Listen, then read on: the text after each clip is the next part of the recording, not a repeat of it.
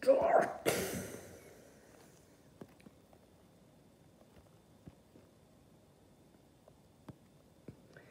Yeah, boys, that is a trailer for the dog. And yeah, peace.